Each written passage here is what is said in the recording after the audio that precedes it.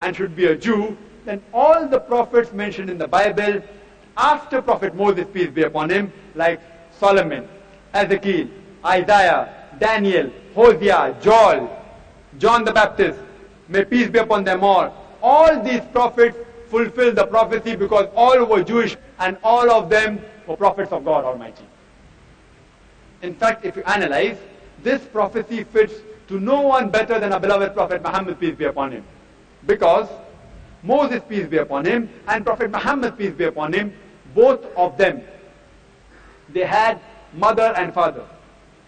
Prophet Jesus, peace be upon him, was born miraculously, without any male intervention. He only had a mother, he had no father. So Prophet Muhammad, peace be upon him, is more like Moses, peace be upon him. And Jesus, peace be upon him, is unlike Moses, peace be upon him.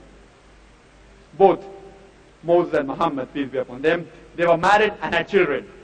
According to the Bible, Jesus, peace be upon him, was not married, neither did he have any children. Both Moses and Muhammad, peace be upon them, they died a natural death. Jesus Christ, peace be upon him, according to the Holy Quran, he was raised up alive. According to the false reading of the Bible, they say he was crucified on the cross. Anyway, he did not die a natural death. Both Moses and Muhammad, peace be upon them, they brought new laws. Jesus, peace be upon him, brought no new law. It's mentioned in the Gospel of Matthew, chapter number 5, verse number 17, that think not I have come to destroy the law and the prophets. I have come not to destroy, but to fulfill. So according to the Bible, Jesus Christ, peace be upon him, says that he brought no new law. Moses and Muhammad, peace be upon them both, besides being prophets of God Almighty, they were even worldly kings. Worldly kings mean if they wanted, they could give any other human being the punishment of death. They were worldly kings. This was not the case with Jesus, peace be upon him. Both Moses and Muhammad, peace be upon them, they were accepted by the people as a whole later on. But Jesus, peace be upon him, it's mentioned in the gospel that, in the gospel of John, he approached his own and his own forsook him. That means his own did not accept him. So if you analyze, Prophet Muhammad, peace be upon him, is more like Moses, peace be upon him. And Jesus, peace be upon him, is unlike Moses, peace be upon him. This prophecy fits to no one but our beloved Prophet Muhammad, peace be upon him. And further says that I shall put my words into his mouth, and he shall speak all that I command him. And we know that the Holy Quran was a revelation given to Prophet Muhammad, peace be upon him, through Archangel Gabriel. And whatever was revealed to him, he repeated it verbatim, as though words were put in his mouth.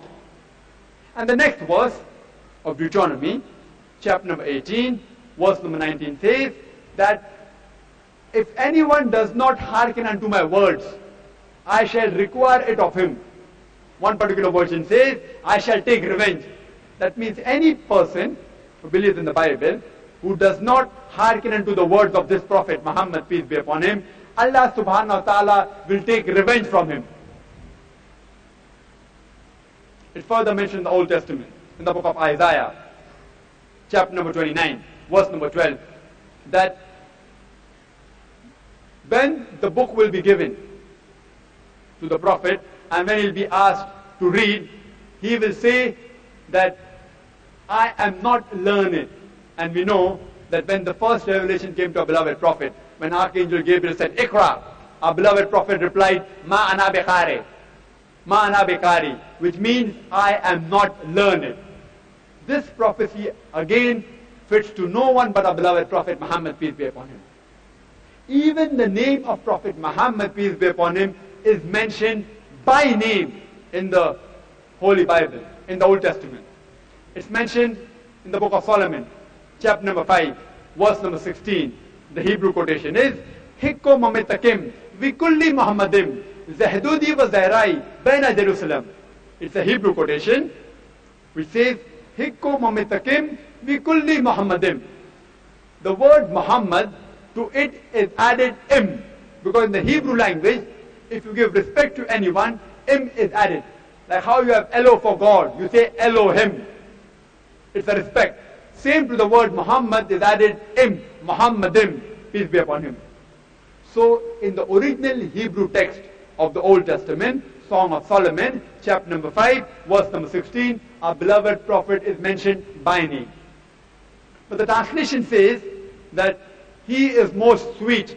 He is altogether lovely. The Hebrew word Muhammadim has been translated into altogether lovely.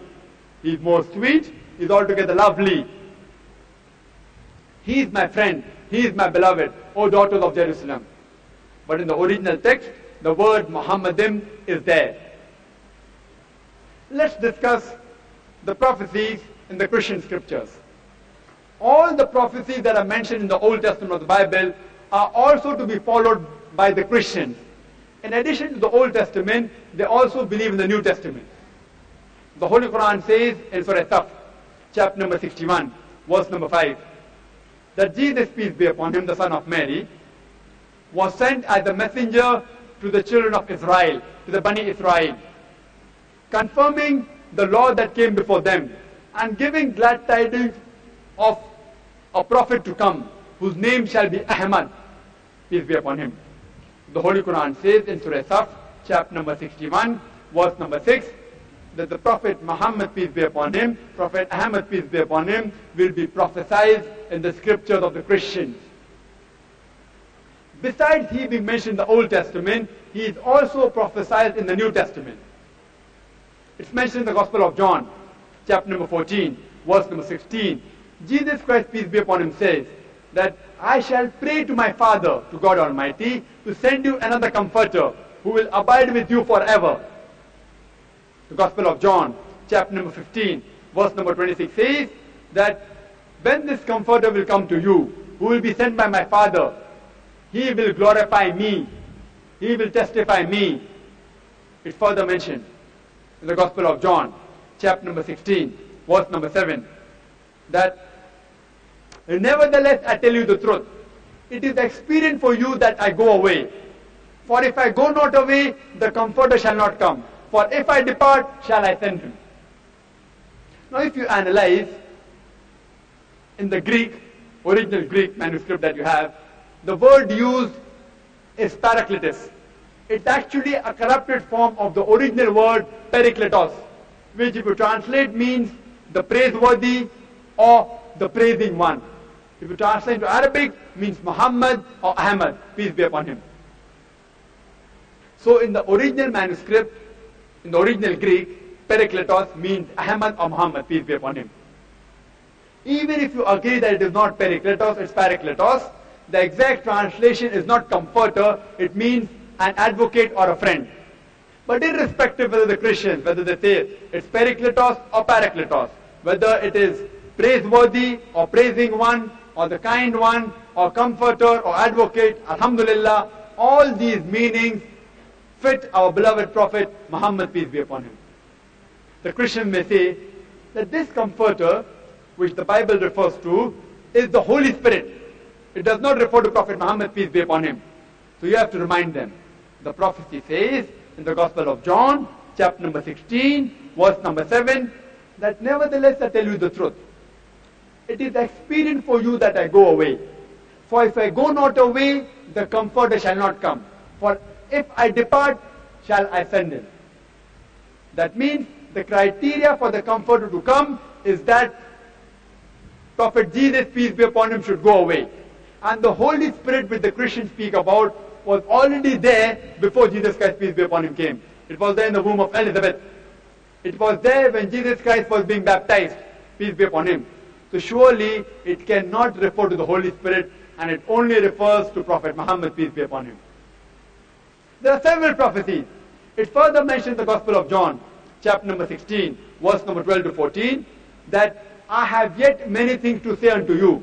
Jesus Christ, peace be upon him, says that I have yet many things to say unto you, but ye cannot bear them now.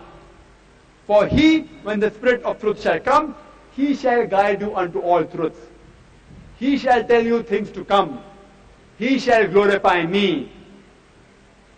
This Spirit of truth which the Holy Bible speaks about is no one but a beloved prophet, Muhammad, peace be upon him. The prophecy of Prophet Muhammad, peace be upon him, is very clearly given even in the New Testament. And the Holy Quran says in Surah Al-Ahqaf, chapter number 46, verse number 10, that tell to the people that see you not that this is a book from God Almighty, from Allah subhanahu wa ta'ala, and you reject it. Even after a witness from amongst you, from amongst the Ahl Kitab, testifies to its similarity with the early scriptures. He was a believer. But you are arrogant. And Allah guides not the unjust people. The prophecy, the Holy Quran says that don't you see that this is a book from God Almighty, the Holy Quran, and you non-Muslims reject it, whether it be the Hindus, whether it be the Parsis, whether it be the Buddhists, whether it be the Jews, whether it be the Christians, it says, this book is from Allah subhanahu wa ta'ala, and a witness from amongst you has already testified to its similarities about the Prophet or beloved Prophet, and you reject it. The witness from amongst you was a believer. And you are arrogant people. You are unjust. And Allah guides not the unjust people.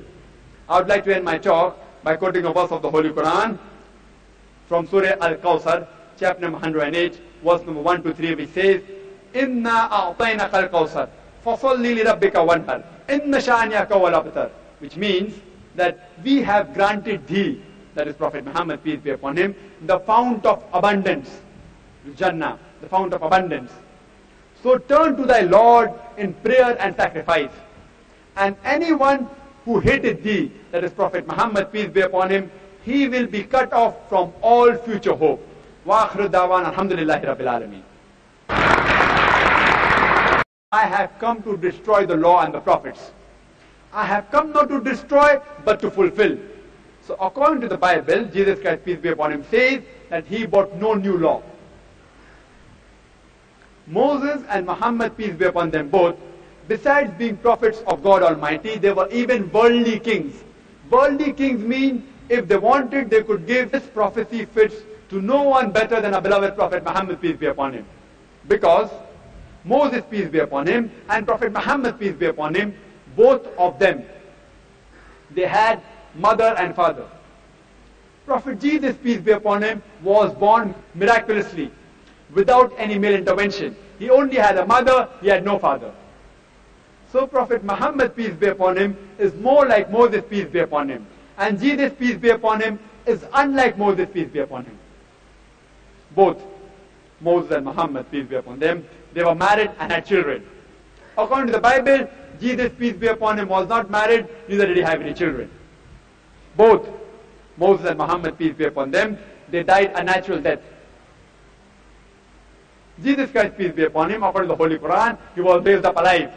According to the false reading of the Bible, they say he was crucified on the cross. Anyway, he did not die a natural death. Both Moses and Muhammad, peace be upon them, they brought new laws. Jesus, peace be upon him, brought no new law. It's mentioned in the Gospel of Matthew, chapter number 5, verse number 17, that think not and should be a Jew, then all the prophets mentioned in the Bible, after Prophet Moses, peace be upon him, like Solomon, Ezekiel, Isaiah, Daniel, Hosea, Joel, John the Baptist, may peace be upon them all. All these prophets fulfilled the prophecy because all were Jewish and all of them were prophets of God Almighty. In fact, if you analyze,